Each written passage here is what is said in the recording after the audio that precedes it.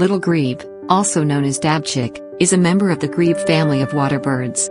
It's about 23 to 29 centimeters in length. It is a small water bird with a pointed bill. Adult is unmistakable in summer, predominantly dark above with its rich, rufous color neck, cheeks and flanks, and bright yellow gape, is commonly found in open bodies of water across most of its range.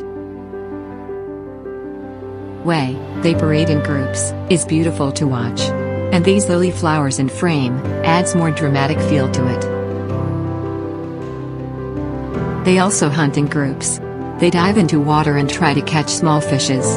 The hunting scene give a feel of peekaboo game, when they come out of water.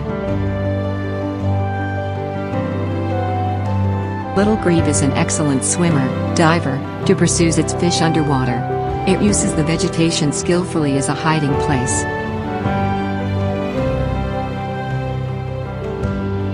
Can witness a small fight between them to snatch the fish from one another. But when the real snatcher comes, the game is totally different. Secret is here to snatch the fish from these little grebes.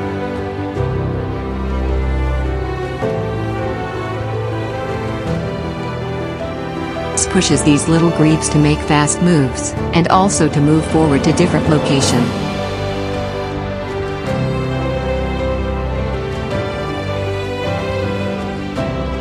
But this egret is not in a mood of giving easy jobs to these grebes.